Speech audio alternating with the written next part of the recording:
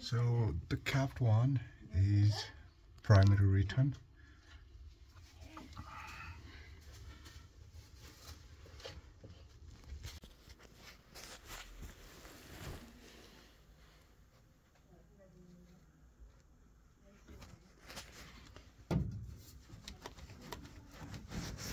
So this.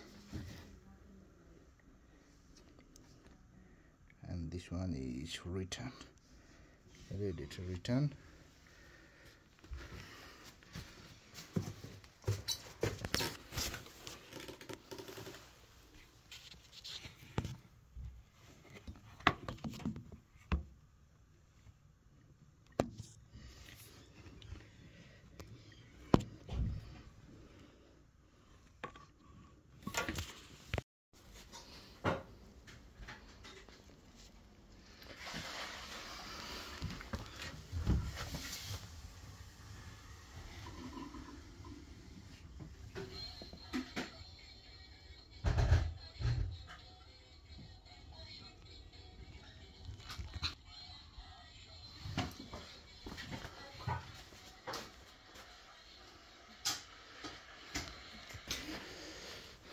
so on this property what happened was you know the customer said uh, the heating turns on with the hot water.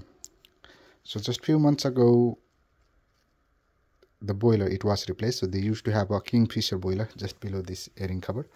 So which was moved to on the side of the wall. Um, so they called me and so the customer said the heating turns on with the hot water. So I came here you know I, I found this this one a little bit dodgy so I changed to the new one. So it's a written one. And it still same thing happened. And then what I did you know I, I just installed the double check valve on the radiator side radiator side. And I hoped it worked but it didn't. Again all the radiator most of the radiator they were hot. Now what I'm going to do is I'm going to take the carpet off and then floorboard off and then I'll chase all the pipes. So I believe it you know the pipe works might be you know um, it might be different um, or it might be messed up when the boiler was moved. So I'll take the pipe you know um, floorboard off carpet off I'll check the pipes and then I'll, I'll correct correct if needed. So let's start. So I took the floorboard out and this is what I have found. So the primary return has been kept off and this is flow to the radiator and this is return. Yeah and here hot water return and the radiator return is and then you can see that's the T which is the return to the boiler.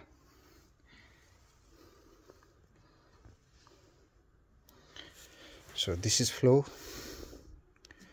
this is return. So this one is capped off and this one is connected here. And from there there is a return. So in simple way what's happening now you know the return is acting as a flow to the radiator and it just travels all the way you know like it just makes the circuit like this within the flow and return. That's the reason why even this double check valve didn't work. So I'm going to correct it. What I'm going to do I'm going to take the cap off from the primary return I'm going to cut that pipe out. And then I'll cap off on the radiator return and then I'll just connect it to the boiler return pipe.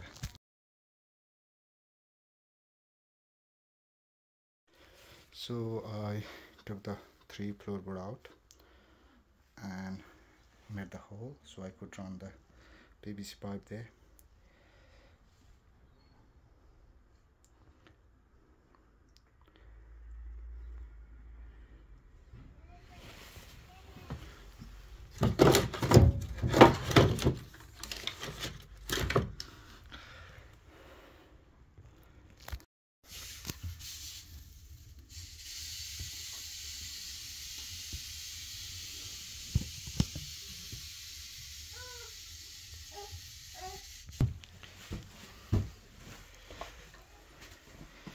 so this is the primary return. So done with the PVC pipe. Capped off.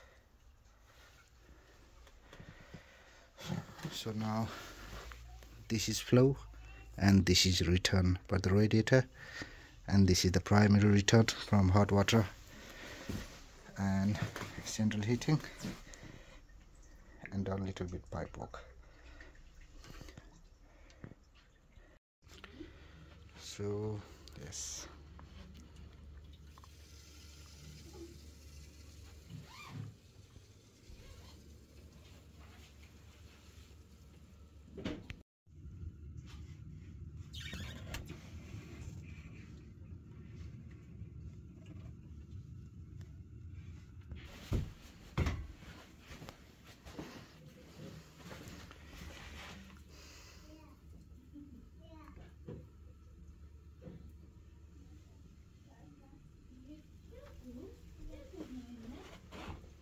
this is how I um, do the work you know like if I have confusion I just make a rough sketch and and try to understand how the system is working. So here you can see this is the this is the sketch before correction. So on the first day what I have done is I replaced the mid position valve which is you know like a really common issue. So when the heating turns on with the hot water then we assume oh it might be the mid position valve. So which I changed the mid position valve. Same thing happened. Again the customer said okay nothing changed. It's still the problem is same. So on second day I install double check valve on on here. This is the flow to the radiator. Again nothing changed. You know uh, still the heating was turned on with the hot water so then I had to take the floorboard out and I checked the pipe work and and this is the case what I found. So the previously uh, you know the boiler it was just below the airing cupboard. It was the Kingfisher boiler uh, and it has been condemned and it has been replaced with another ideal boiler and it was installed on a different location. So the installer what he did this is the primary return for the kingfisher. So what it was done was you know it was just capped off. Means he just he just got the pipe and he put the end cap here. And this is the return.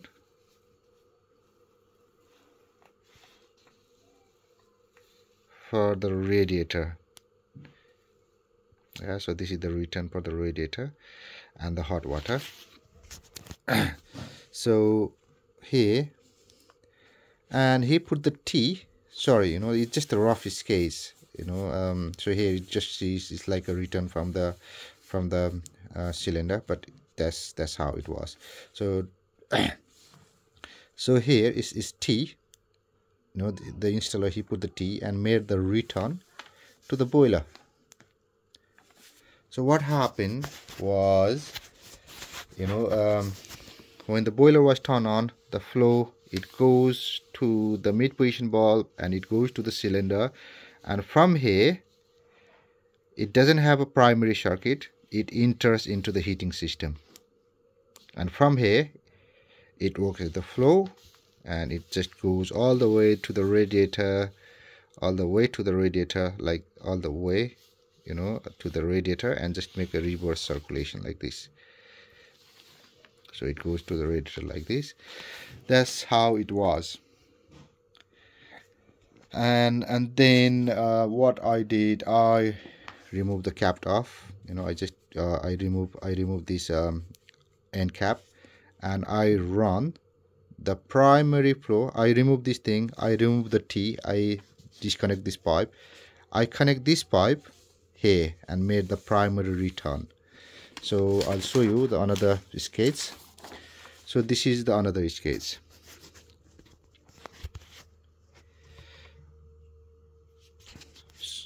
so flow to from the boiler to the pump mid position valve then it goes to the cylinder and then here I remove the end cap and connect this pipe all the way all the way remove the T cut the pipe and connected this pipe here and made the primary return. Here you can see cylinder head is on uh, return. And now this radiators heating has its own return as well. So when there is no supply you know uh, and when the heating is turned on it goes all the way and follow this path. When no heating then all the way and it goes this way to the boiler. That's that's how i corrected the system. And and since then it was done um, 10 days ago. And since then i haven't any complaint from the customer. And I, I got the good feedback saying okay the system is working correctly now